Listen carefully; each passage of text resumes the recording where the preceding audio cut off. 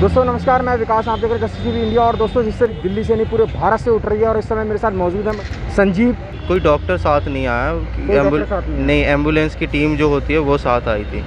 जी और जो दोषी हैं उनका मेडिकल नहीं हुआ है। जी नहीं अभी तक उनका मेडिकल नहीं हुआ। उन्हें सीधे जेल भेजा गया है उनका चालान कट चुका है तो उन्हें अरेस्ट करके एक एक करके अरेस्ट किया गया एक तो। तो उन्हें जेल भेजा गया जेल भेजा गया तो जिस तरीके से पूरा प्रोसेस होता है एक क्रिमिनल का जो प्रोसेस होता है। ना उनकी रिमांड हुई है कुछ नहीं हुई सीधा उनको कुछ भी नहीं सर कुछ भी नहीं रिमांड जैसे कि हमें पता चलता है कि कुछ भी केस होता है तो पहले नंबर पकड़ते हैं पुलिस वाले तो रिमांड लेते हैं उनकी सब हम्म। पूछताछ करते हैं ऐसा कुछ नहीं हुआ। एक्चुअली मुझे लगता है वो वकील के द्वारा हाजिर हुए हैं हम्म। और उन्हें सीधा चालान काट के उनका सीधा जेल में भेजा गया उन्हें। जेल में भेजा गया जी। और अभी जो मेडिकल होना था या वो तो हाथरस में हुआ था उसकी रिपोर्ट्स हमें नहीं दिखाई गई हैं। उन्होंने बोला था कि हॉस्पिटल वाले ही रखेंगे। और जो जो भी है फाइल्स वगैरह कुछ भी नहीं मतलब हमें दिखाने के लिए तैयार नहीं थे डॉक्टर लोग। बोले थे कि ये सब हॉस्पिटल के अंदर की जानकारी आप लोग को नहीं दे सकते। ठीक है। तो हादसा हुआ था 14 सितंबर को और में जब ये हादसा हुआ था कैसे हुआ था थोड़ा सा बताएँगे मुझे? एक्चुअली क्या है ये अपनी मम्मी के साथ मम्मी और बड़े भाई और ये दीदी घास लेने गई हुई थी खेत में।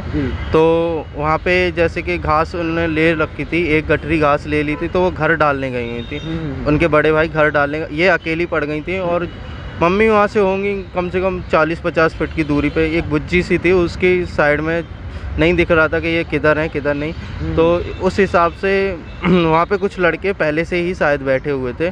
तो ये घास इकट्ठा कर रही थी। पानी हमारे खेतों में पानी का भरा होता ना वैसा ही था वहाँ पे। दोनों साइड तो बाजरा के खेत थे एक किसी भी साइड से रोड नहीं दिखाई दे रहा था। हम्म। तो उन्हें दुपट्टा पकड़ के उनका गले में दुपट्टा फंसा के ऐसे घसीटते हुए कम से कम 20 से 30 फुट तक अंदर बाजरे में ले गए हैं। हम्म। और उनके उनकी मारपीट बहुत इतनी ज़्यादा की गई है कि उनकी ये रीढ़ की ये गर्दन की ये तीनों हड्डियाँ हैं जो रीढ़ की ये हड्डी होती है ना यहाँ से तो वो फ्रैक्चर तीनों हो चुके हैं हम्म। और डॉक्टर्स बता रहे हैं इसमें सुधार ऐसे नहीं होगा इसका ऑपरेशन होगा ऑपरेशन भी रिस्की है बहुत ज़्यादा हम्म। और उसके बाद वहाँ से उठाया था तो गाँव का ही कोई लड़का गया था वहाँ से ठाकुरों का जो जिन्होंने काम किया था चार लोग जो भी थे चार पाँच हम्म। तो वहाँ से गाँव का ही कोई लड़का गया था उन्होंने बताया घर पे जाके बड़े भैया को ये बोला कि मतलब तुम्हारी बहन बेहोश पड़ी है।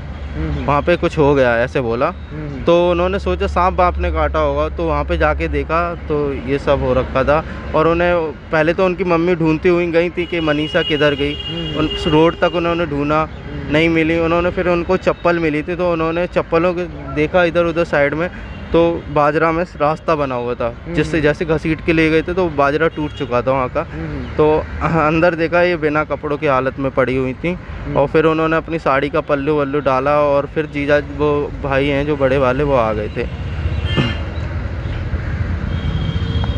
तो दोस्तों आप समझ सकते हैं किस तरीके की बर्बरता जो है। सकते हैं किसी भाई के लिए कितना कितना आप समझ सकते हैं बयान नहीं कर सकते हैं। बात सुनते हुए या बात बोलते हुए भी लोगों के लफ्ज़ कांपते हैं। ऐसी हैवानियत हाथ रस में उस बहन के साथ हुई है। अभी तमाम खबरों के लिए आप देखते रहिए जस्टिस टीवी इंडिया।